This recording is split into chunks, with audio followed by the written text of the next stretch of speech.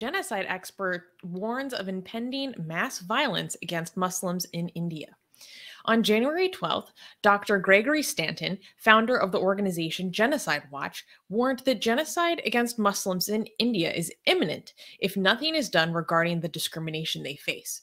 He announced his prediction during the congressional briefing hosted by the Indian American Muslims Council and Amnesty International. In his speech, Dr. Stanton highlighted the current prime minister's inaction during the 2002 riots in Gujarat, during which more than 1,000 Indian Muslims lost their lives. He also said that Modi uses quote unquote Islamophobic rhetoric to build his political base and cited discriminatory policies. For example, in 2019, India enacted the Citizenship Amendment Act, which granted a much easier citizen pa- citizenship path for religious minorities from neighboring countries, but excluded Muslims.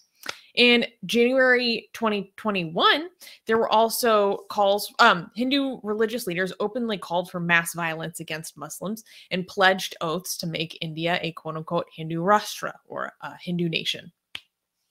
Syed Zafar, a BJP spokesperson, stated that Dr. Stanton's claims regarding the violence and discrimination against Indian Muslims was factually incorrect. It is vital to mention that this is not the first time that Dr. Stanton has shared such an opinion. Almost two, two decades ago, Dr. Stanton predicted the Rwandan genocide years before its occurrence. Um, so what is he predicting that is going to happen? Mass so, um, we could actually watch his statements oh, right really? in this okay, video cool. right here. Imagine that being your t- like. Is that his t- the title of his job? Like genocide expert? Um. Well, this is what he's internationally known for. He is the founder of Genocide Watch, and um, he mm. has. Oh, They have demonstrated a predictive capacity I mean, I didn't know that's a that's a thing, but I'm glad someone is doing it. Um, all right, hold on. Let me see if I can. Yeah, let, let's uh Ghost Bunny is saying claps for genocide news. The reason why I think it's okay to clap for this is one, because um he's sounding the alarm. Uh, he's giving yeah. his opinion, and it's about um, specifically trying to raise awareness about the severity of the issue. It's a little bit more nuanced than he's not saying. Let me be clear. He is not saying that genocide is happening right now. Um, and he makes it, he repeatedly emphasizes that genocide is not an event that occurs, it is a process. Like, and there are multiple processes of genocide. So he's raised the alarm about how um, India is meeting eight out of 10 criteria of genocide that um, his criteria that he established many years ago. And that's uh, part of this whole process. But um, do you want to watch his comments? Basically, get like we're getting the vibes that like like 19, I don't know, maybe 39 vibe in Germany. Like maybe not up till the you know like pre you know you're getting this you're getting all the signals for something bad majorly bad happening i mean if you think about it like it does look very i mean i don't know i I don't know how accurately you could make predictions like this, right?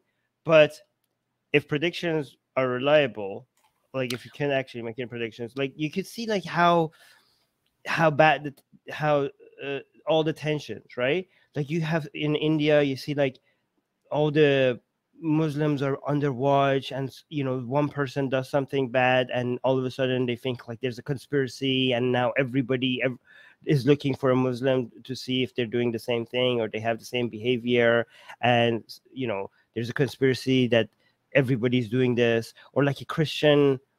Um, I don't know. There's some forced conversions by some Christians, and now every single church is like involved being forced conversions, and every cross is Valentine's Day, you know, Christmas, or everything is now signs of forced conversion. Or some uh, there was a video of a Muslim looking like they, they spat into food and now there's this mass conspiracy that like all muslims are like spitting in your food and you have to be vigilant and so all of this hate you know all of this pent up hate and everybody like constantly demonizing muslims at some point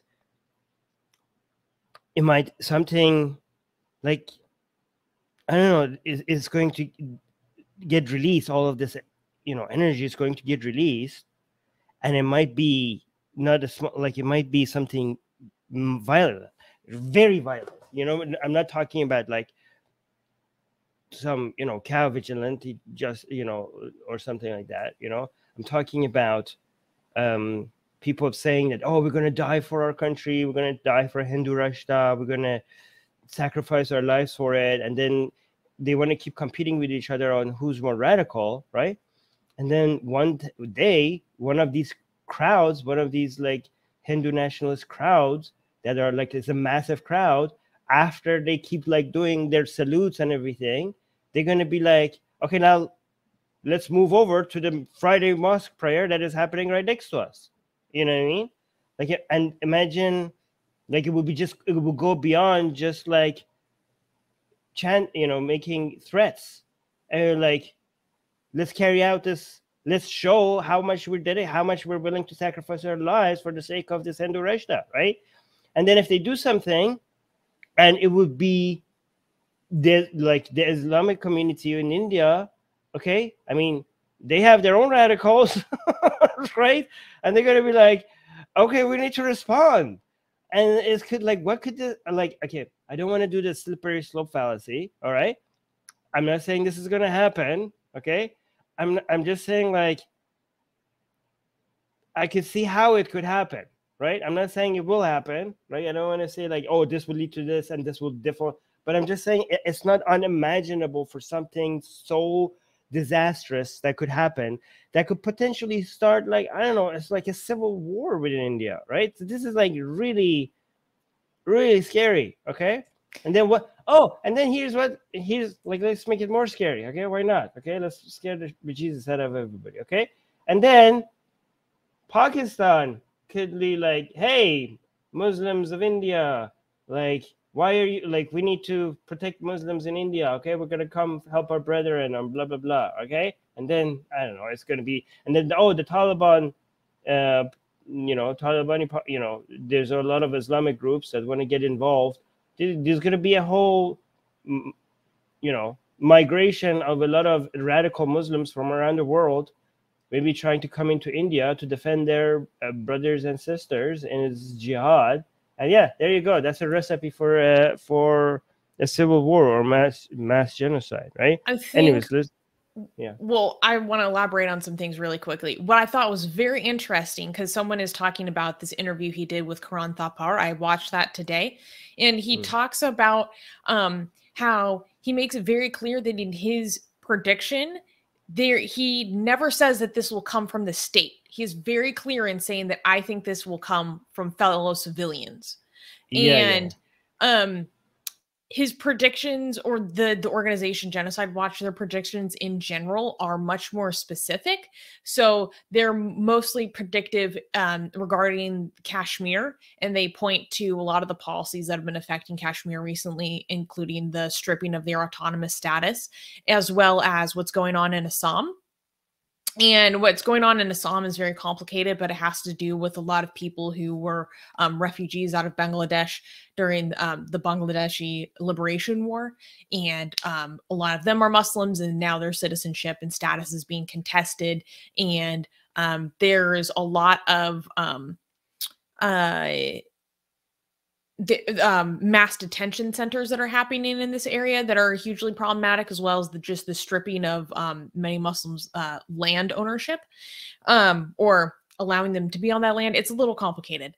Um, so I thought that was really worth mentioning. I thought it was very interesting, in particular, how he was talking about like I don't think that this is going to come from the government. I think that this will come from civilians, and um, he was very harsh on Modi, saying that he is culpable in his refusal to speak out, complete silence for over a month regarding these hate speeches that happened in Hardwar and um, Delhi.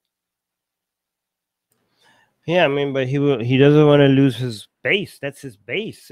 why would he come speak against that? Like, like, why would I speak against hate speech? Hate speech is hate speech is you know, hate is what my campaign is fueled on. what are you talking about, man? Anyways, like, let's okay, let's uh, listen to this. Right. You have video? Did you see it going? All right. in uh, in the, the meeting in Hardwar, and that has been used by the uh, Indian government also against Muslims. It is polarization, uh, which uh, includes this anti-Muslim hatred, and it is the kind of preparation that we are seeing right now, where this dehumanization is being preached. So we are warning that genocide could very well happen in India. U.S. Holocaust Museum is right about that. Uh, one of the first genocides that I predicted uh, way back uh, in 1989 was in Rwanda when I lived there. And I could see from the ID cards where it identifies Tutsis and Hutus and Twa and, and so forth that these cards could be used for genocide. And when I asked the president of the Supreme Court, who was a Hutu himself, uh, couldn't you outlaw this? You know, making these uh, ID cards uh, not have these ethnic identifications on them? He said, no, we don't have judicial review here. So you're going to have to talk to the president. So I got an appointment to talk to President Habyarimana. I went in, we talked. I said, you know, these ID cards could be used for genocide. At that point, and I said, you have to get this off of the cards.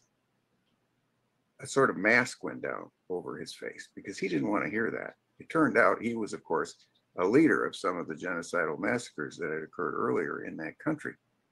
Uh, but as we left that meeting, I said, Mr. President, if you don't do something to prevent genocide in your country, there is going to be a genocide here within five years.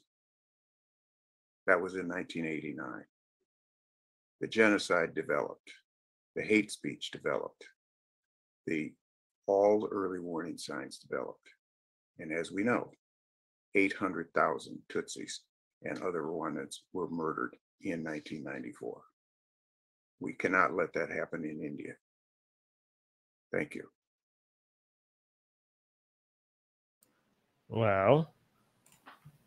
Well, one thing that I think is worth noting that I think people who might be critical of this sudden attention on him might say is that he's been making predictions about mass violence or genocide in India since around 2001 to 2002, around the time of the riots in Gujarat.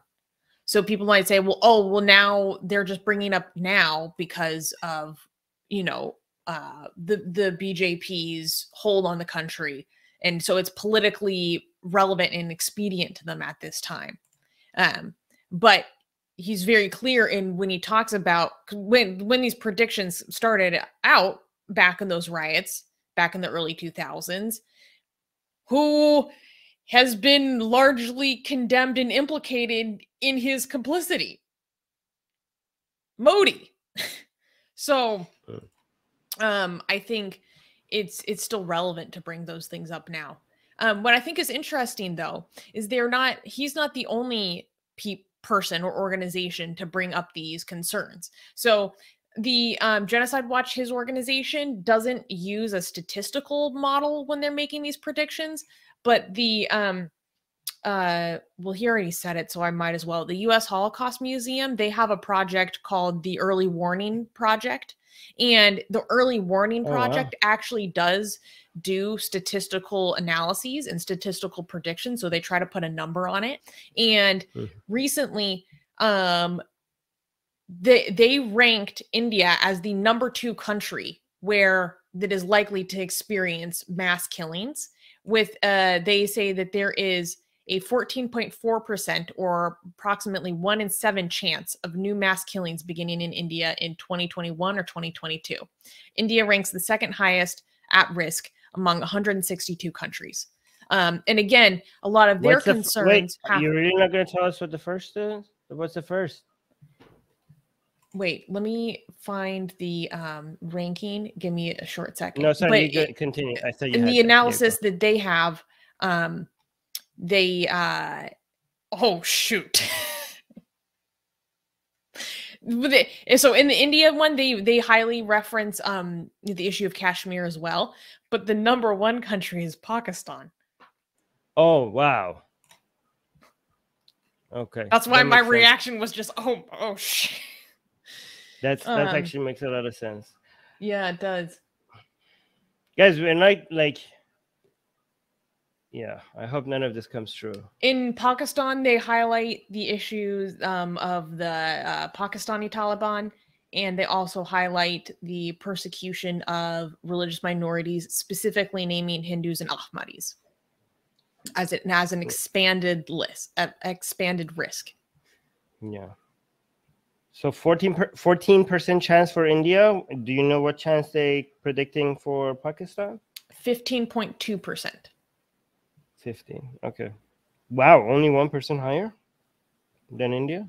Okay. Mm-hmm. All right, we do want to highlight some star comments, okay? Yes, true. Um so uh Shriyash is asking what are the 10 criterion. So if you want to read the full definition and explanations, I go to genocidewatch.com slash 10 stages um, because I can't read the full definitions right now. We don't have the time. Um, so the but the 10 stages are classification, symbolization, discrimination, dehumanization, organization, polarization, preparation, persecution, extermination, and denial. And um, some of these things, they're not, it's not necessarily, they're not necessarily linear, right? They can, they're, these are processes, not linear stages. So some of these things can be happening in tandem. Like he highlighted the role eh, of denial as there is the risk of a country entering a situation like this. Um, and it should be noted that it's not um, exclusively like India that gets these rankings. Like um, the U.S. is listed, you know, as having a risk for genocide by the same organization. Um, Mm. so no chance? uh, they that that was a different organization that actually lists it um, in a statistical model. Um, let me try to find. right, it no, never mind. Let's, I want to highlight this one. Okay, go for it. All right. So Hindutva Susanna is saying, Hey Armin and Susanna, how should a Hindu react when a local Muslim openly supports Taliban and celebrate the death of India's chief defense of staff um, tragic death, but no moderate Muslims are against it? Okay, Hindutva Susanna, I think like you, th- the way maybe the people like you like you who have uh, a collective mindset i think you don't understand you're so fundamentally flawed in the way that you're thinking and that's why when we keep like telling you why you're thinking uh, your mind just doesn't resonate with us who think indivi- on an individual basis right? Like we keep like telling you and other people like not to treat muslims like this or that or not you know and then you're like but they did this but they did that. And you keep giving us examples of like things that have happened. And you think that's a justification for all these other for a, for how you view muslims or how hindutva is supposed to be treating muslims or how they're supposed to be looking at them right? But instead of i don't know because and we have constantly pointed out to you that the we don't we don't look at all of these people as one collective right? Um but i think it just doesn't you just don't get it right? Because people who are tribal people who associate themselves like oh i'm hindutva and these are muslim we're part of hindutva and these are muslims and we're just enemies or something like that. Um it does it seems like no matter how much how much we try to try to make them understand that we judge people on an individual basis rather than holding them collectively responsible it just doesn't resonate with them. They just don't get it. They're so tribal that they see that action of one muslim as a way to hate or be against or judge all of these muslims together right? And the only time they get it when we're talking about is when we talk about members of their tribe right? So for example hindutva here let me let me make this easier for you to understand okay? Because th- that's the only language you understand is by making it you know give an example of your tribe right? You know for a fact that there are hindutva all right that has members of hindutva that have done things that you do not endorse. You yourself here i've know i've seen right? Like we highlighted some of these far right like extremist radical hindutva that we highlighted here on the show. And you were like oh that's a fringe group of people. Oh those those are just like a few people this and that right? Uh, and you want to when we show examples of hindutva doing crazy things you want to isolate that and be like oh that's just them. That's not you know all hindus or all hindutva okay but when it comes to muslims all of a sudden you're like look at this. You know you you want to take an action of one muslim right? And you want you you're bringing that up like on a new segment right? That is about warning warning you about genocide against muslims right? So think about like the implications of what you're suggesting right? You think like, every, like we we we are here condemning people that are threatening muslims with violence and with discrimination right? And you come here and you're like you act like well what are we supposed to do? How are we supposed to behave? Look at this muslim. Look at this example of this muslim that example of that muslim right? You want to hold you are maybe not on purpose okay? But this kind of language is like well what are we supposed to do? Like what they're doing. So you want to you are you are maybe without knowing it okay justifying you know a, a, a lot of violence and a lot of discrimination because of the action of some people.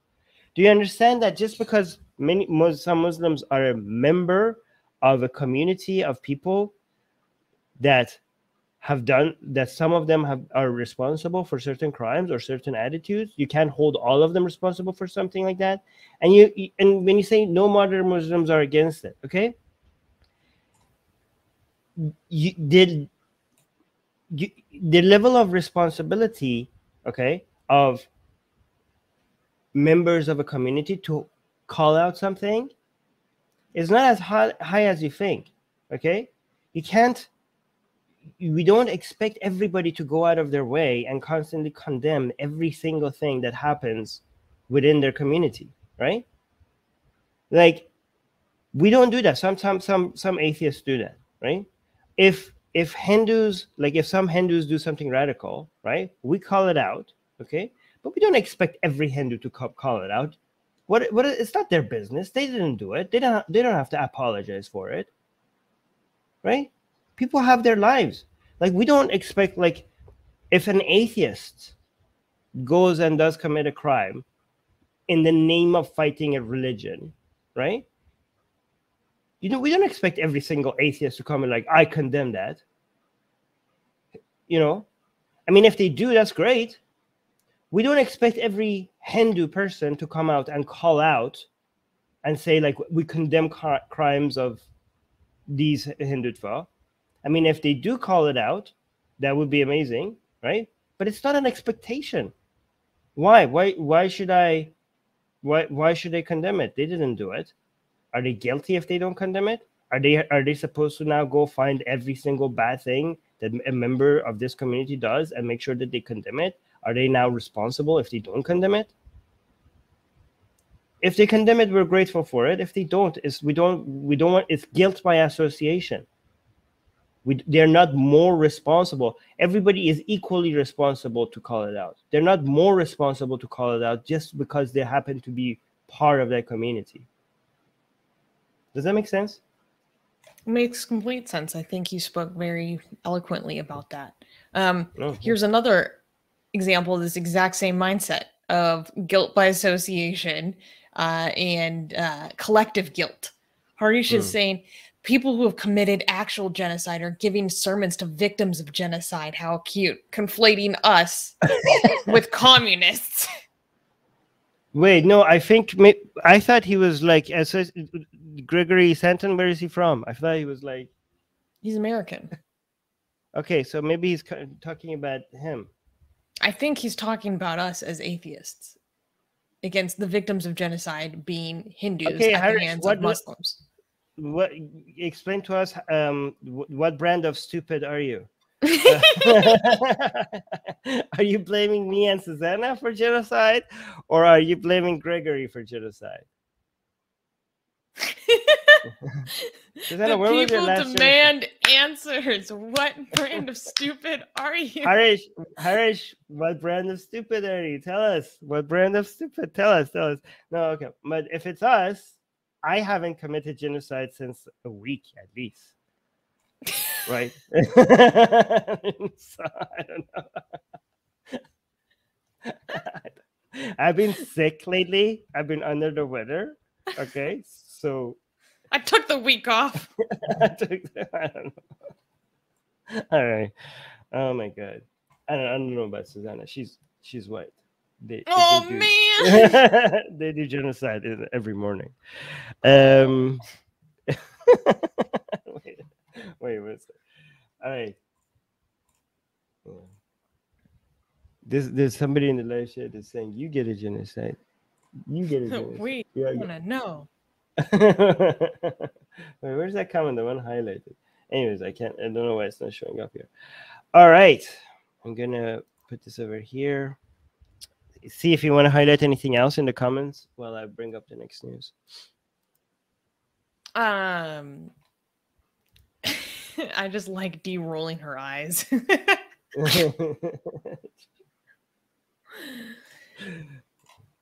All right. Oh, I have. Oh, here's another comment. Amir is saying, My response to Hindu, uh, Hindu Susanna is the moderate Muslims often are scared to come out as the community, as the community is hostile. So welcome the Muslim together, make it safe. Yeah. Um. Oh, actually, that's a, one thing else I want to add to that is like we don't. If we want to blame any individual Muslim, and when we say blame, not like blame as in they're responsible for they they are responsible for violence or that they deserve discrimination for it. They're just like just call. To, if we want to call out, if we want to condemn, and not not just a Muslim, anybody, okay? Um, no, co- not condemn. If we want to call out anybody, is not the people who are not condemning the violence or condemning um, we want to call out the people who make excuses for it, right?